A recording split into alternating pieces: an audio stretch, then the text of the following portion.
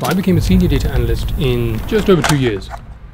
Here's how I did it. I'm going to cover some key things that accelerated my growth faster than others may have done. I went into a junior data analyst role straight out of university. I went from, straight from junior analyst, skipped the data analyst part and went straight into senior analyst. And I just changed jobs into a new job. I'm a senior business data analyst here. And just as a quick background, I studied finance and actuarial science at university. So not too much on the data analytics side of things, but I still dealt with data. And I think the most important thing was being able to leverage those skills dealing with finance data and translating them into more data specific responsibilities. If this video ends up being useful and entertaining, be sure to leave a like and subscribe without any further ado, let's get straight into it. So I've actually made a video about my first month as a data analyst. I'll link that video up here and down in the description below as well. I'd initially started off by completing the most manual tasks that the team had, just to gain an understanding of their processes, their workflows and, and everything in between. And then they slowly started integrating me into their daily workflows, the more important reporting, the automation side of things, the larger projects, the software projects and the data engineering side of things. And so that was very, very helpful in terms of maintaining a foundational understanding of how processes worked. And that helped hugely because then I could take a step back. When I actually got involved in the more complex projects, I could take a step back and really understand where there was space to improve something, where there was the opportunity for an improvement in efficiency, where there was an opportunity for maybe we look at this slightly in a slightly different way that'll make it more efficient, that'll utilize less resource. And so my advice to anybody going into their first junior data analyst, data analyst, even apprenticeship is understand the processes from the ground up. If that means you have to spend some more time on the weekend just understanding everything, I would recommend you do that because it helps hugely in terms of progression.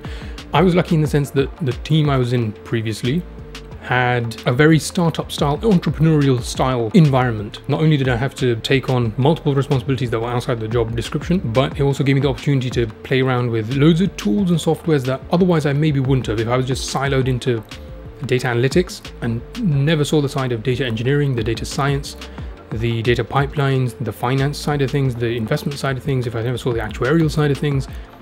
I was lucky I had that constant stream of exposure. And so that helped accelerate my development. But I started off with basic skills in Excel, barely, I just knew about SQL, I didn't know much syntax at all. And then Python, we did one programming with Python module at university. So not really much of a background in heavy data analytics. Power BI, I think when I started Power BI, I, I, don't even know if I knew what Power BI did, but what I sort of accidentally did was over deliver. That meant taking ownership of projects that were given to me, trying my best not just to deliver a project, but to actually understand where it goes to solve the business problem that's trying to be solved, where the client is really looking to fix something, and then addressing that in my analysis directly. I'm going to go through a couple of different sections. I'm going to cover the background. I'm going to cover my first role. I'm going to cover some key things that accelerated my my growth and then also I'm going to go over some of the intangible things that really set me apart and let me progress faster than others may have done. Things like office politics and being visible and things like that. And relationships, things like that. And then following on from that, And then following on from that, I was doing most of my learning on the job. Like SQL, again, I'd known what SQL did, but little to no experience beforehand. So I was learning on the job.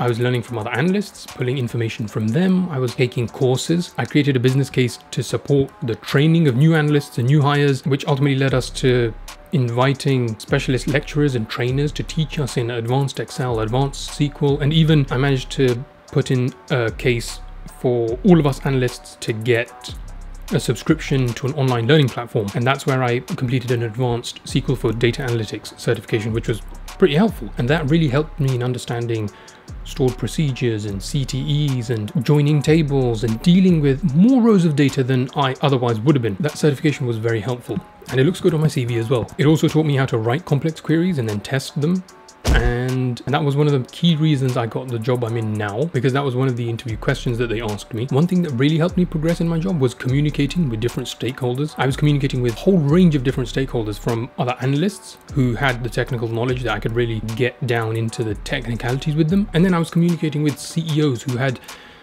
little to no knowledge even of the technical things I was talking about, and so I had to provide them with an overview of what the data and my analysis was showing. And that really helped me to understand how to communicate with different people, what exactly they want to see, how to get to the bottom of what they want to see and hear, and how to present to different levels of technical expertise and seniority. The next thing that really helped me to accelerate my growth is that you have to build trust in the people that you're delivering your analysis to. That could be clients, it could be your teammates even, it could be maybe you're doing a piece of a piece of a project within the team. You need to be able to demonstrate that they're able to trust you. They're able to offload a piece of work to you and they can trust you'll get it done. You'll get it done to a good standard and that they can rely on you. My outlook was give me any and everything, I'll do it. Give me any and everything, I'll do it. I'll be honest, I'll probably bug a lot of people asking them for help, asking them for advice, asking them to help me understand a particular problem, asking them to help me understand a syntax, a file location, asking them a bunch of questions.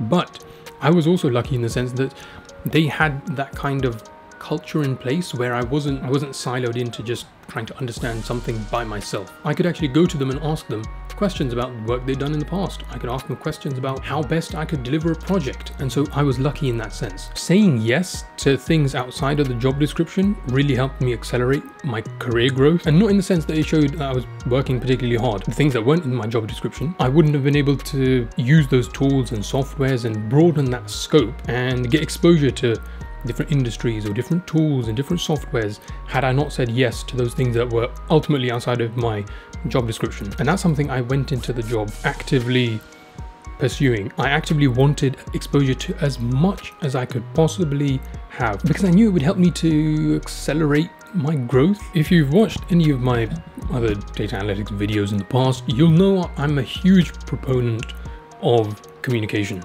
It's the thing that sets apart 90% of data analysts. It's the thing that makes or breaks a good data analyst versus a great data analyst. Any type of analyst. Communication is so important for an analyst. And I'm telling you now, it's undoubtedly one of the reasons I was able to progress my career like I have been able to is my ability to communicate. Communication for me comes from reading, the reading I did when I was younger. It's the thing that I see even on the hiring side of things. I've sat in hiring interviews where you'll have two incredibly technical analysts. They'll have incredible technical skills. They'll be able to do incredible things. But one might not have the ability to communicate as well as the other. And so in that case, we're always going to go with the one who can communicate better. Because as a data analyst, as any type of analyst, investment analyst, actuarial analyst, financial analyst, communication is such a huge part of your role.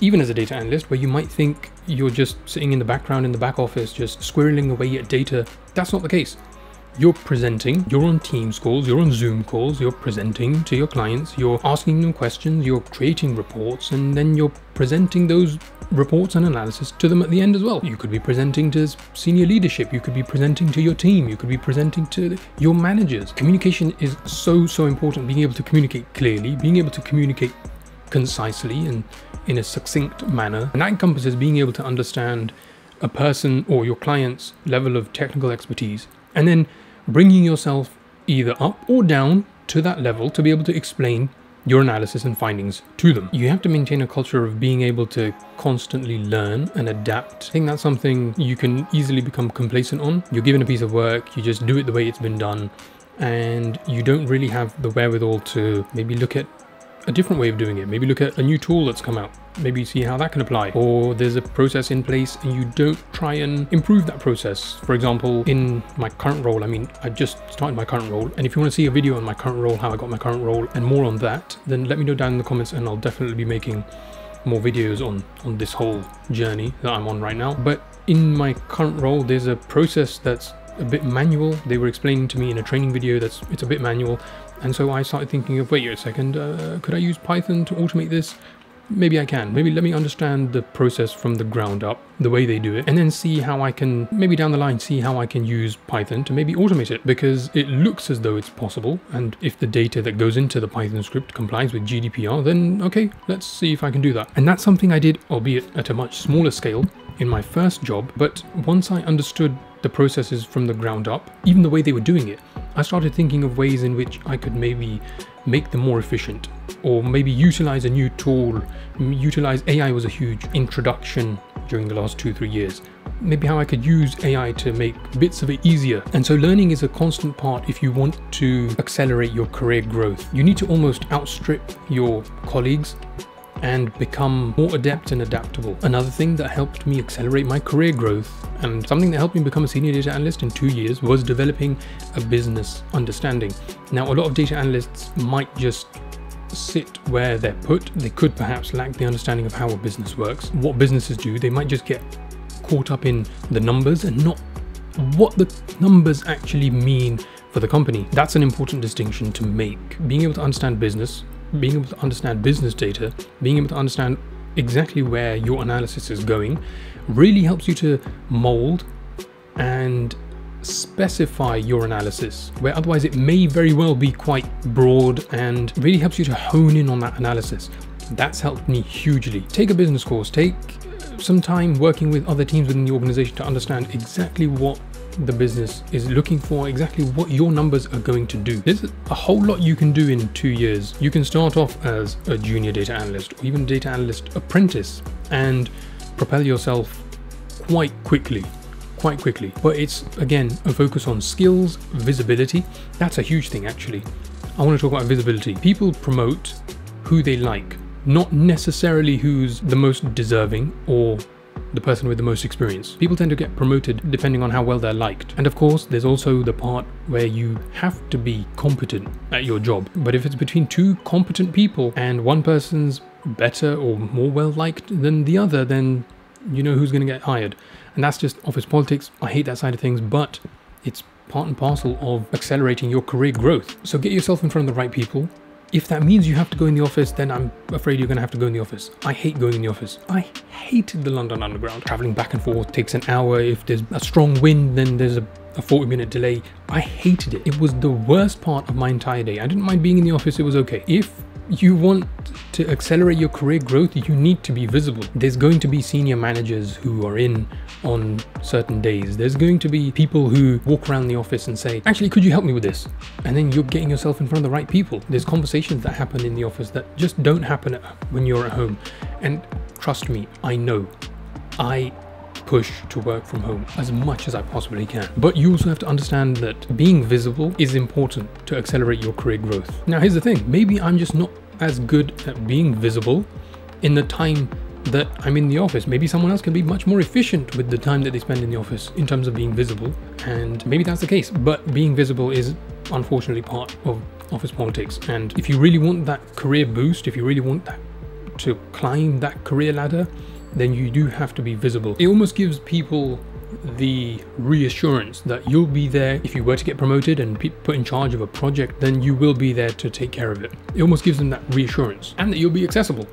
If something should go wrong, you'll be accessible. Now, if you're interested in the exact skills that I focused on in the first month, the first year even, I'll cover those in another video. Let me know down in the comments and I'll make a video on that. The exact skills I focused on to get promoted to senior data analyst. But like I said, communication is a huge part of it. If you can corral a group of people, if you can make them laugh, if you can make them understand your data, then you're already halfway there. I wasn't supposed to be able to become a senior data analyst in two years, but it didn't happen by accident. It was carefully planned and I definitely wanted to, I knew I started off as junior data analyst and I knew I wanted to skip a step somewhere. I knew I wanted to either skip the data analyst part, become a data analyst, and then skip the senior analyst part and jump straight to data manager. I knew I wanted to be able to skip a couple of steps. And yeah, so everything I did was carefully curated to be able to help me to achieve that goal. And I'm still not there yet. Let's see if I can go from senior data analyst to head of data. Let's see if that's possible in next, I don't know if that's possible in the next two, three years actually. That might be quite a quite a big jump. But let's see if, if we can skip a couple of steps. Maybe maybe skip from senior data analyst to data consultant. Or we'll see what happens. But I'm going to try and do the same the same thing. I'm going to try and use the same playbook to accelerate my career growth as quick as I possibly can. So there you have it. That's about it for this video. Hopefully there was some some important information in there that would help you to accelerate your career as well. If this video was useful or entertaining, be sure to leave a like and subscribe. Thanks for watching and I will see you guys in the next one.